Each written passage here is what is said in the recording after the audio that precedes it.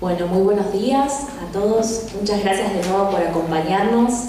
Estamos muy contentos de estar acá, muy contentos de haber presentado los primeros resultados de, este mapa de la educación inicial en Argentina y más contentos aún de contar con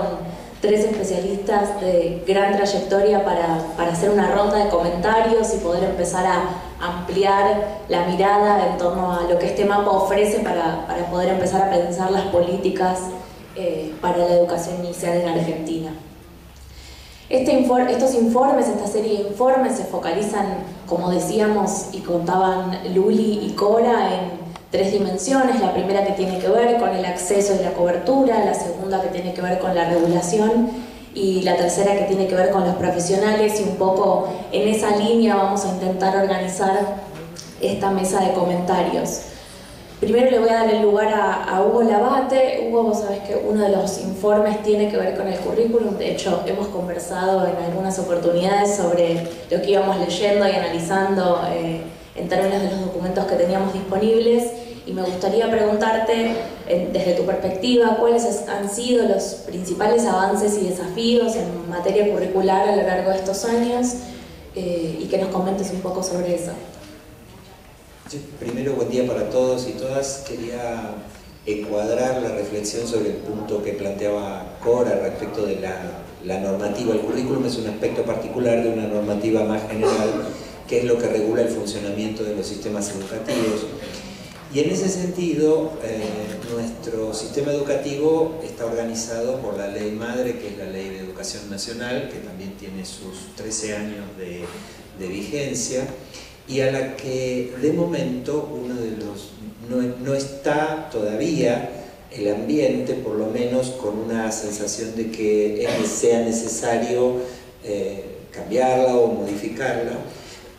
cuando en realidad el siglo XXI está caminando a toda prisa y quizá tendríamos que empezar a pensar si la ley de educación, tal como está pensada, sigue siendo funcional, si necesita algunos retoques. Y esto lo digo para encuadrar una, un particular aspecto que tiene la ley y que incide sobre la forma en que se organiza el currículo. Eh, la ley especifica una muy clara división entre los niveles educativos, el nivel inicial, el primario, el secundario, y ah, cuando uno piensa en esa organización, esa organización en la práctica tiende a producir una segmentación entre los tres niveles del sistema educativo y algunos problemas en el flujo entre un nivel y el otro. Sobre todo por la eh, complejidad que entraña lograr acuerdos de trabajo entre profesionales que enseñan en un nivel y en el nivel siguiente que recibe a los alumnos. Entonces, en particular me parece que uno de los grandes desafíos que tenemos entre manos es cómo eh, articular mejor, la palabra articular quizás no es la que mejor lo expresa, pero cómo hacer una transición más ordenada entre el actual nivel inicial y el nivel primario, dos culturas institucionales diferentes, dos historias curriculares diferentes y dos modelos pedagógicos que muchas veces no convergen. En ese sentido, un primer trabajo que se hizo durante este periodo de gestión fue invitar a través de un mecanismo que se creó en la Secretaría de Innovación y Calidad Educativa, que fue la Red de Mejora de los Aprendizajes. Es un mecanismo que invita periódicamente a los responsables de planeamiento de todas las jurisdicciones y eh, se los trae para conversar en ocasiones también con los directores de nivel. Hicimos una serie de reuniones que involucraron a los directores de nivel tratando de empezar a ablandar esas esas barreras artificiales, ¿no? Y hay un documento girando por ahí que habla de la trayectoria escolar integrada, lo pueden bajar, está disponible entre los documentos de la gestión en Educar, donde planteamos la necesidad, o, por lo menos como dispositivo curricular que produzca un acercamiento entre inicial y primaria, hablamos de la posibilidad de generar algunos consensos alrededor de continuos de aprendizaje. Ese fue el nombre de la cosa, continuos de aprendizaje. Podría uno identificar continuos de aprendizaje entre inicial y primaria, muchos, pero en principio, dado que necesitábamos poner foco, eh, le pusimos eh, nuestra mirada a dos. Primero, el continuo de la alfabetización, que no arranca solo en el nivel primario, sino que hay prácticas de alfabetización temprana que se pueden trabajar desde el nivel inicial. Eh, y por el otro lado el continuo del juego, porque hay dos, como, dos cuestiones convergentes. Por un lado, se deja de jugar en primaria, cuando todavía en el primer ciclo tendríamos que poder aprovechar mucho el juego como herramienta pedagógica y como estructurante de las prácticas de aprendizaje, y por el otro lado la alfabetización no puede ni debe arrancar en primer grado, sino que tenemos que imaginarnos un proceso mucho más, mucho mejor hilvanado y mucho mejor cosido en, la forma en que los chicos acceden a la lengua escrita. Así que en ese sentido el trabajo fue eh, de, compartir significados. la dificultad que hemos encontrado es que a nivel eh, nacional lo que podemos hacer es articular estas conversaciones entre directores de nivel. Ahora, en el momento en que queremos eh, convertir esta discusión curricular aplicada en, en conversaciones de nivel local, hay que transferir un modelo de trabajo, hay que transferir una autoridad a las jurisdicciones para que una de ellas lo pueda procesar en campo. Es decir, generamos los documentos de apoyo, generamos algunas ideas de metodología, pero luego está, dado que las provincias tienen sus POAI, sus planes de inversión provincial, tiene que ver con la prioridad que cada provincia le asigna a tener o no tener esta discusión.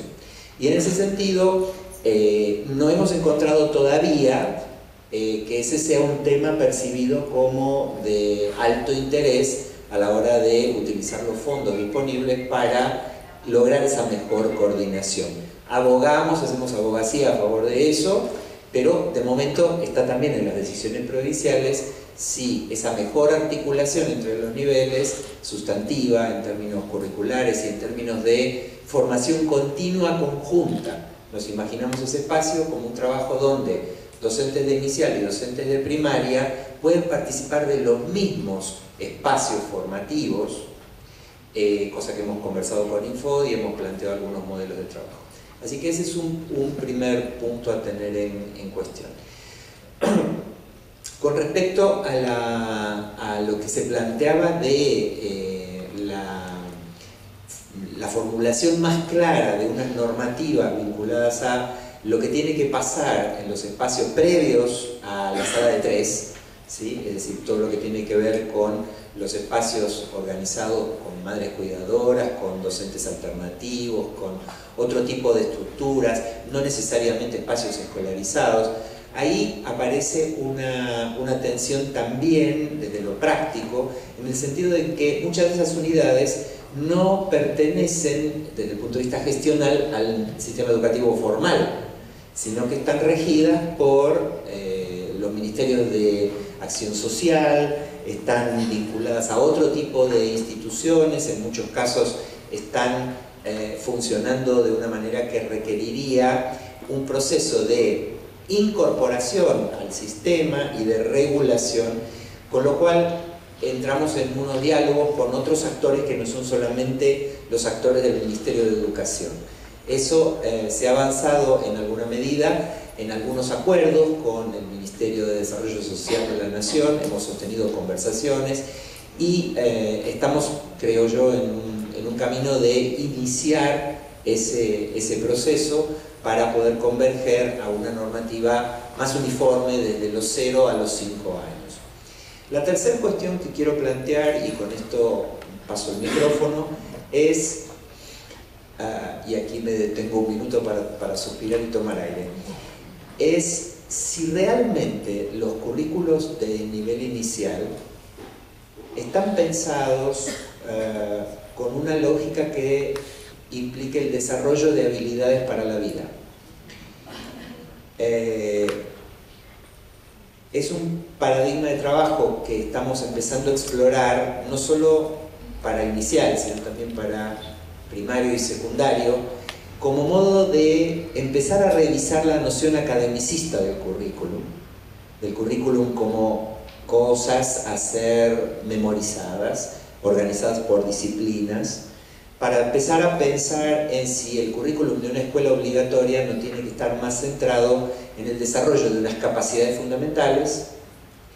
que se vayan complejizando, se vayan desarrollando a lo largo de toda la educación obligatoria.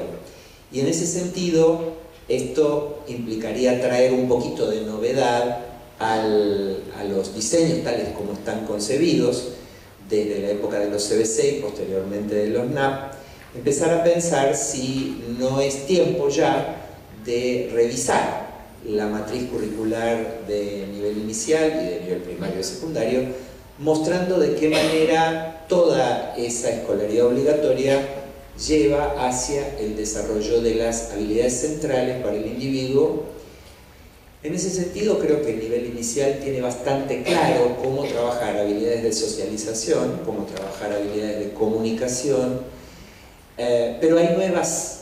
hay nuevas habilidades o hay nuevas capacidades que necesitamos desarrollar y en particular la reciente aprobación de los NAP de eh, educación digital, programación y robótica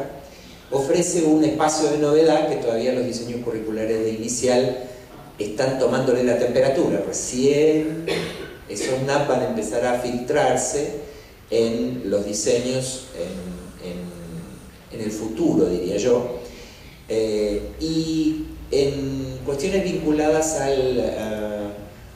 a, otras de las capacidades identificadas por el marco de organización de los aprendizajes, un documento que los invito a leer, que también está disponible en Educar, identificamos también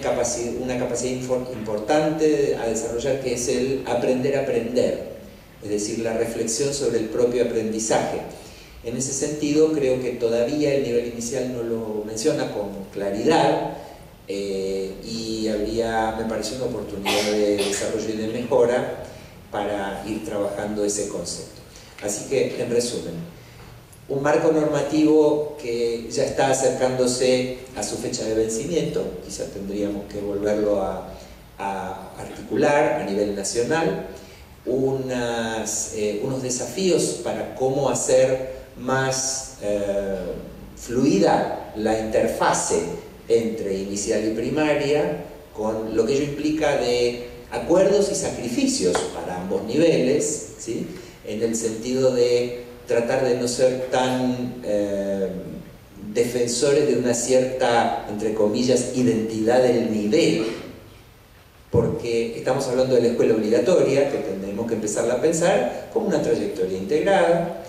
y eh, trabajo pendiente para hacer por parte de Nación y por parte también a, nivel local de eh, los acuerdos de sentido con los proveedores para la franja entre 0 y 3 años para tener una, un currículum para primera infancia que sea ordenador y que sea orientador. Así que algunas reflexiones. Quiero agradecer a CIPEC y a UNICEF este trabajo enorme y valiosísimo que se han tomado eh, y que nos da muchas pistas sobre para dónde continuar nuestro trabajo.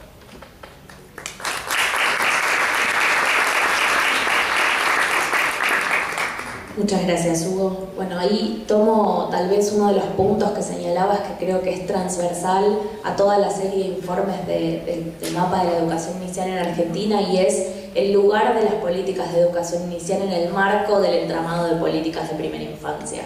Creo que allí hay, hay un punto en el que la información es clave y con eso voy a la segunda pregunta eh, para Nancy, donde nos gustaría que, que, nos ofrezcas algunas reflexiones en torno a cómo podrían mejorarse los sistemas de información, considerando las particularidades de este nivel y su lugar en el marco de las políticas de primera infancia en general.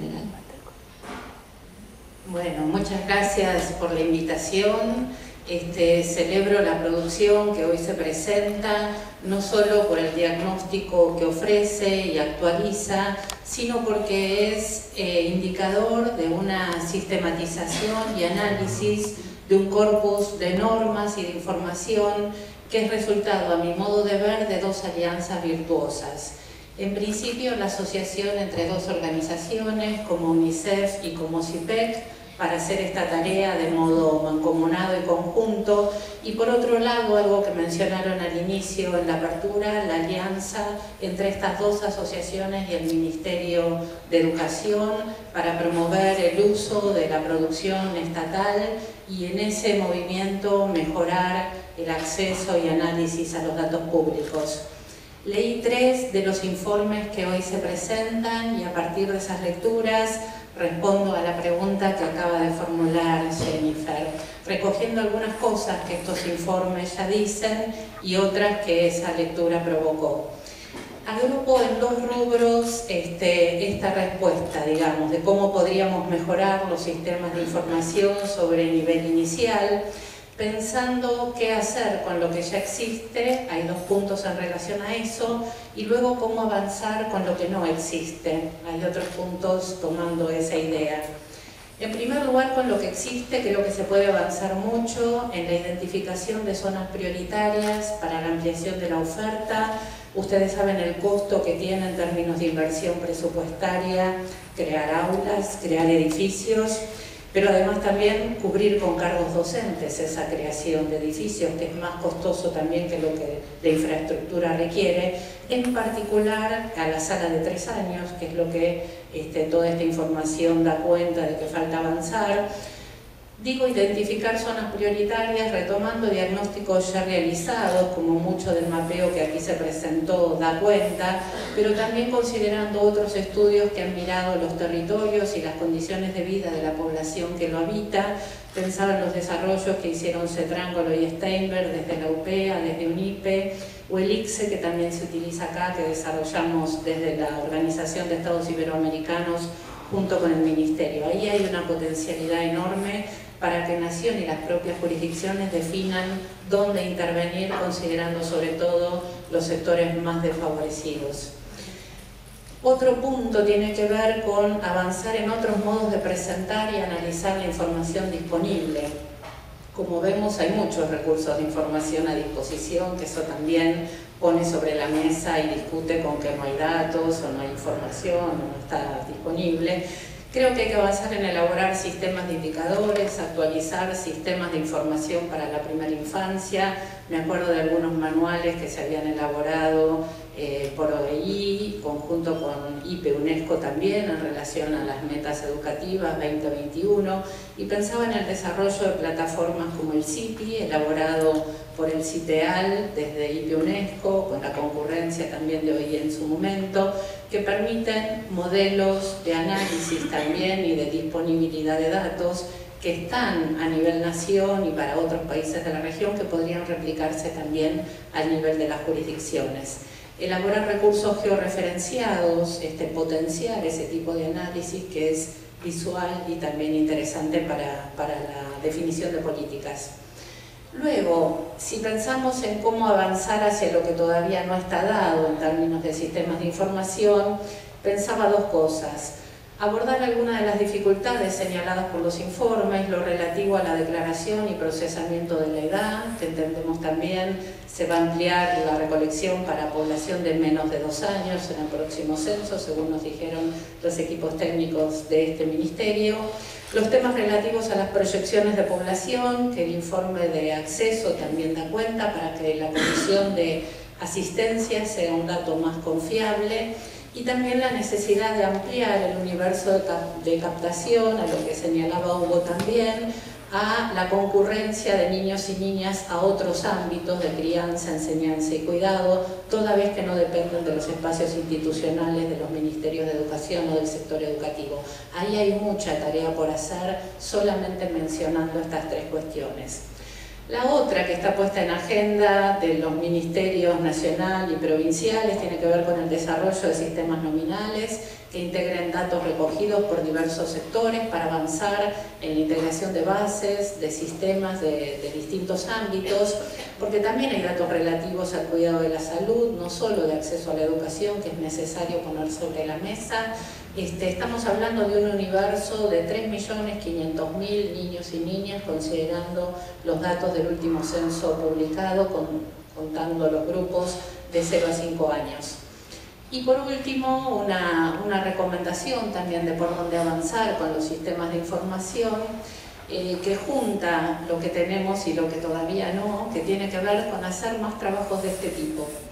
que potencian el uso de los datos públicos y también señalan sus capacidades y sus limitaciones. Ambas cosas permiten mejorar los sistemas de información y ampliar los esquemas de análisis posible. Pensaba que este mismo modelo de análisis podría replicarse en las provincias, al interior de cada una de las jurisdicciones y tendríamos también más información disponible, pero aquí quisiera señalar un contrapunto con los modos de decir acerca de las limitaciones de los sistemas de información disponibles. Creo que hay que ser cuidadosos en el modo de señalar los déficits o limitaciones y a cambio hablar de alcances. No le, no le podemos pedir a los relevamientos anuales que capturan datos en las escuelas con desagregación a nivel de sección o de tipos de cargo que avancen en características de los perfiles de docentes y de los estudiantes. Para eso hay otras fuentes de información. Yo creo que no corresponde tampoco decir que el censo del 2010, 2010 es viejo o está desactualizado. Los censos se hacen cada 10 años y responden a una temporalidad que está normada de modo internacional, así que pueden dar cuenta de eso que pueden dar cuenta. Entonces creo que sí, eh, los informes y los señalamientos que se hacen para mejorar los usos de información señalan puntos relevantes toda vez que hay una demanda explícita por una mayor disponibilidad de datos públicos. Estos informes también dan cuenta de los datos de los censos docentes que todavía no se han podido disponer o los relativos al relevamiento de infraestructura o en su momento del censo de áreas rurales. Allí hay un tema para resolver en términos de la factibilidad y disponibilidad de los datos que creo abre la pregunta respecto a la responsabilidad de productores y de analistas eh, para el uso de la información. Gracias.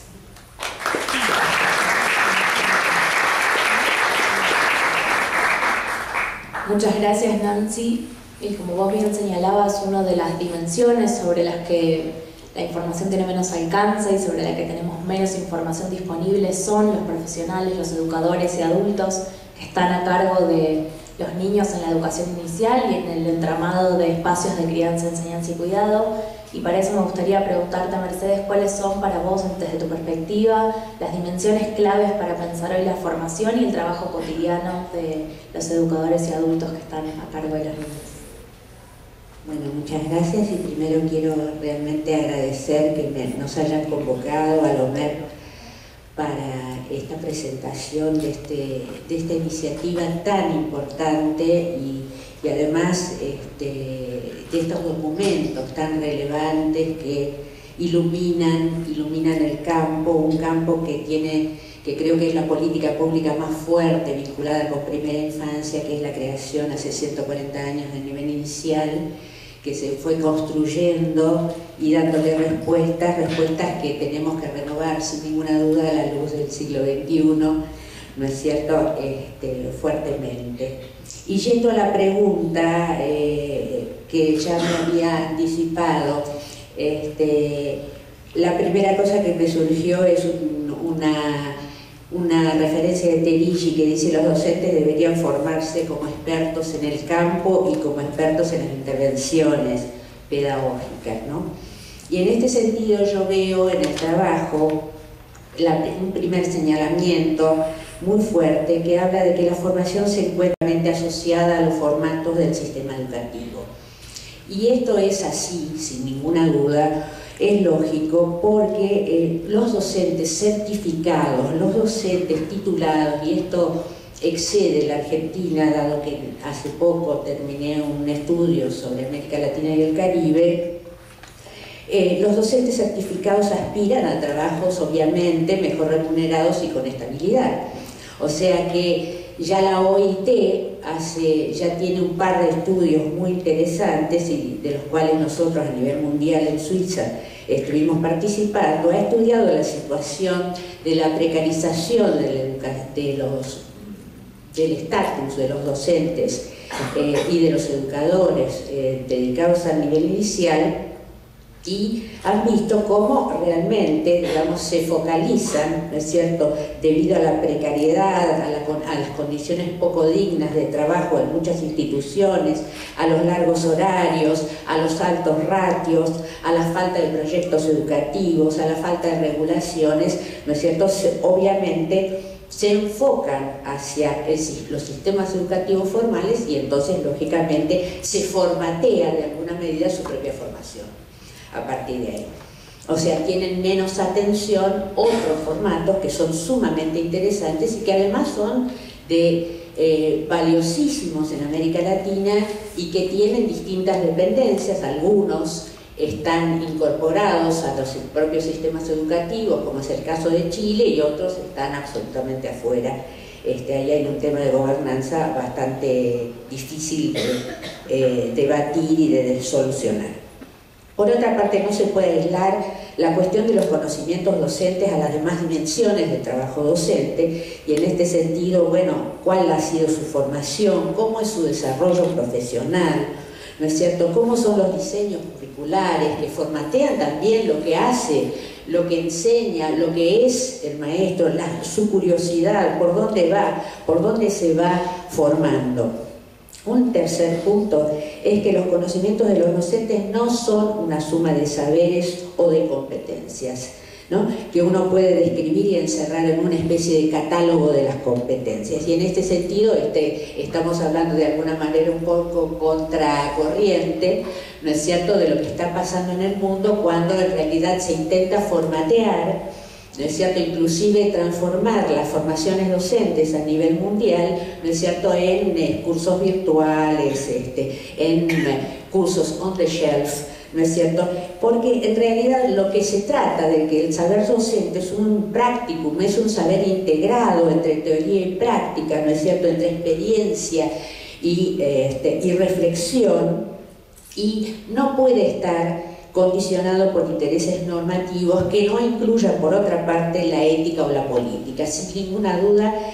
eh, este, el ejercicio docente incluye necesariamente la política y de hecho yo diría que debería estar todavía más presente la conciencia de su función como agente, como funcionario del Estado, ¿no es cierto?, para la garantía de los derechos de los niños, de los derechos humanos de todos los niños.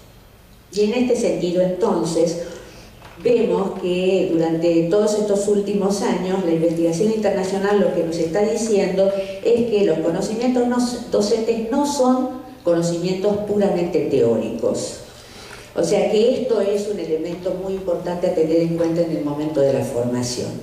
y que son tributarios, como decía John, de, los, de la epistemología de la práctica. O sea que hay un interjuego permanente entre práctica y teoría, entre formarse como expertos del campo y formarse en las intervenciones pedagógicas, ¿no es cierto? Por otra parte, en el nivel inicial esto es como muy central, porque los, eh, los conocimientos de los docentes tienen que ver y están determinados por los contextos, ¿sí? por los contextos y las interacciones con los niños. Y acá sí hay una especificidad y una identidad propia del nivel, ¿no es que tiene que ver con, con el sujeto, o sea, con un niño muy pequeño, pensemos en los maternales, yo soy una maternal, ustedes ya lo saben, hace 49 años cuando vine a Buenos Aires y me alojé en esta biblioteca para estudiar ciencias de la educación este, y me, cuidó esta biblioteca de las adaptaciones de ser una provinciana ¿no? este, y estudiar ciencias de la educación, yo me di cuenta allí trabajando con los niños pequeños, porque empecé a trabajar siendo maestra normal nacional con los niños de 0-3, porque las maestras jardineras no, estaban formadas ni querían trabajar con los niños más pequeños en esa época, ¿sí? estoy hablando de muchos años. Entonces, estoy diciendo que allí, en ese contexto, en esas interacciones, se va formateando, se va creando conocimiento y se va definiendo qué conocimiento tienen que tener los docentes este, del nivel inicial. ¿no es cierto? Y ahí hay un reconocimiento este, que también tiene que ver, digamos, este, con el conocimiento, que es el reconocimiento social que tiene que estar en el corazón de la formación, ¿no es cierto? Entendiendo que los docentes del nivel inicial tienen que saber este, eh, tienen que conocer, tienen que fundar su acción, ¿no es cierto?, en la reflexión de su experiencia y al mismo tiempo en el otorgamiento de sentido y al mismo tiempo en la ampliación de su campo teórico, ¿no es cierto?, en un interjuego absolutamente dialéctico.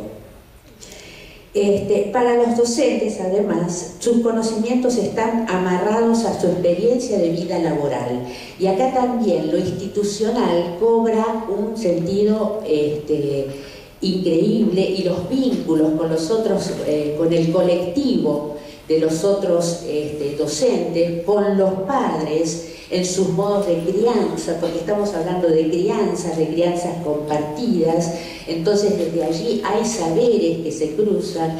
el tema de la interculturalidad y de la multiculturalidad y de las conversaciones, ¿no es cierto?, entre las distintas culturas y perspectivas para la crianza de los niños pequeños, por eso está tan amarrado el conocimiento a lo que efectivamente ocurre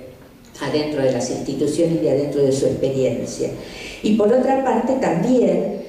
determinado por el contexto, eh, eh, digamos, sociocultural y político, sin ninguna duda, ¿no es cierto? Porque también tiene que haber un reconocimiento social de que efectivamente en los primeros años de vida pasan cosas importantísimas y que hay que saber para pilotear eso y que hay que este, reflexionar, negociar, trabajar con las familias y que el cuidado eh, no es solo una actividad, el cuidado es una ética que atraviesa toda, toda la educación y que debería estar presente la palabra cuidado en, los, en todos los niveles, ¿no es cierto? Cuando hagan esta articulación entre niveles, el cuidado debería estar. O sea, que esto se transforma, esta cuestión pedagógica y esta cuestión de la formación de los docentes se transforma en una cuestión cultural, política, ética, ¿no es cierto?, muy fuerte. Y en, ese sentido, entonces, volviendo a la última parte de la pregunta, nada más para hacer una mención y cerrar, habla, me preguntaban sobre el trabajo cotidiano y no tenemos que inventar la pólvora, ya está inventada, ¿no es cierto? La pedagogía del nivel tiene 140 años y tiene cosas muy buenas que todavía tenemos que resignificar y, valorar, y es decir, que el, el, docente es un acompañante afectivo, es un mediador de la cultura y es un artesano de la enseñanza. Muchas gracias.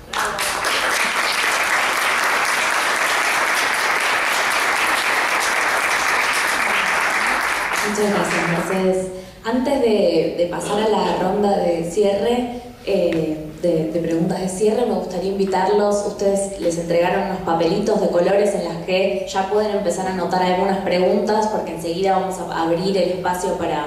para algunas preguntas. Se las pueden ir entregando a los chicos que están a los costados. Ah, ya tenemos algunas. Bueno, bien, las guardamos. Eh, tenemos poco tiempo, vinimos conversando acerca de de los aspectos claves que, tal vez sean los transversales a, esta serie de informes, las características propias del nivel, pero su presencia fuerte en un entramado de políticas de primera infancia más amplio, donde la crianza, la enseñanza y el cuidado son claves, eh, donde el jardín maternal es tal vez aquello que, requiere ser eh, más visibilizado y atendido en los próximos años. Y en esta línea de pensar en los próximos años, me gustaría que nos tomemos dos minutos cada uno y no más porque tenemos poco tiempo, para que nos cuenten cuál sería, si tuvieran que elegir un tema de política educativa que priorizar en los próximos años para el nivel, cuál sería y brevemente por qué. Empiezo por Nancy. Bueno, en el contexto de pocos recursos, este, yo creo que igual hay mucho para hacer. Los informes traen muchos datos para mejorar la oferta educativa. Me parece que identificar las secciones que todavía tienen un número importante de alumnos y diciendo que hay marcos normativos que establecen un límite, hay allí un trabajo para hacer para no solo crear más jardines o más, o más aulas, pero sí mejorar las condiciones de los que hoy están funcionando y en términos de cómo es esa oferta en, relación a la disponibilidad de cargos o a las secciones multiedad o multinivel, me parece que ahí hay una agenda posible de ser encarada también por las jurisdicciones. Pienso cuando Provincia de Buenos Aires decidió y asumió el compromiso frente a la legislatura de reducir el número de estudiantes por sección, por aula, eso se presentaba anualmente y se modificaba, si no se había tomado la decisión de poner un docente más para acompañar en las secciones que tenían 25, 30, 38, 40 estudiantes por sección. Lo que vemos son promedios, ¿no? Hay secciones que están con números mucho más elevados que eso que estamos viendo en los informes y allí hay decisiones a tomar para mejorar y revertir esas condiciones que no solo son beneficiosas para los estudiantes, niños, niñas, sino también para los docentes. Los informes también muestran que en términos de condiciones de trabajo, en el sector privado, por ejemplo, los docentes están más demandados en cantidad de alumnos por por sala que lo que sucede en las escuelas estatales. Entonces me parece que para no sacar los pies del plato, estos informes habilitan mucho en términos de cómo mejorar la oferta educativa y lo mismo en relación a sistemas de información. Bien leídos, hay muchas puntas para seguir mejorando. Una, eh, relación, vinculando aspectos curriculares con aspectos de información, en esto de que hablábamos sobre lograr mejores articulaciones, yo creo que hay un espacio interesante para aprovechar la posibilidad de georreferenciar escuelas de manera de poder armar clusters de eh, escuelas de nivel inicial que están vinculadas a escuelas de nivel primario para poder trabajar con el Info en eh, actividades de capacitación conjunta. Eh, ahí hay una, una, práctica posible, digamos, que no, no necesariamente requiere un financiamiento adicional, sino que permite, implicaría reconducir ciertos fondos de la formación situada para al menos propiciar algún trabajo curricular entre nivel inicial y nivel primario. Para poderlo lograr se necesita estructurar un, conocimiento local sobre el flujo de alumnos entre unas instituciones y otras. Así que uno, esa es una, una cosa que me parece que sería factible lograr hoy, como decía Cora, en tiempos de restricción presupuestaria tenemos que agudizar el ingenio y tenemos que encontrar formas de intervención que sean realmente útiles. Eh, y la otra cuestión es que eh, probablemente ya no, no, tanto a nivel local, sino a nivel de una, próximo, unos próximos pasos, creo que eh, establecer de una relectura de los documentos de los NAP de inicial y de primero segundo grado, de la unidad pedagógica de primero segundo grado, a la luz de estos continuos de aprendizaje, es una, es una tarea pendiente, estamos pensando que bien vale la pena poderlo encargar. Bueno, eh, integro esto que se ha dicho, pero yo por ahí eh, diría algo un poco contundente y es cumplir con la Ley de Educación Nacional la Ley de Educación Nacional dice que el nivel abarca, ¿no es cierto?, y garantiza el derecho a la educación de los niños desde 45 días a 5 años inclusive, o sea que la primera articulación que tenemos que hacer es allí, este, cumpliendo con la ley. Este, y la otra cosa que dice, que es muy importante la ley, este, es que prevé las articulaciones con otros sectores, porque la integralidad no está dada solo, solo garantizando un derecho, si es que se pudiera garantizar por sí mismo solo. Este, en primera infancia, con este eh, contexto de desigualdad, ¿no es cierto? Con este contexto de pobreza, nosotros tenemos que redoblar los esfuerzos para que inclusive las leyes también vinculadas con los CDI, con otras leyes que, eh, que se dirigen a primera infancia, todos hablan de articulaciones. Así que simplemente lo que tenemos que esforzarnos en nuestro país es a dejar la política de quintas, ¿no es cierto?, de sectores cerrados, sectoriales, verdaderamente concretar una intersectorialidad, una multisectorialidad, ¿no es cierto?, para hacernos cargo de los nuevos, de los que vienen, de los que están, ¿no es cierto?, y que tengan infancias felices, gozando de sus derechos.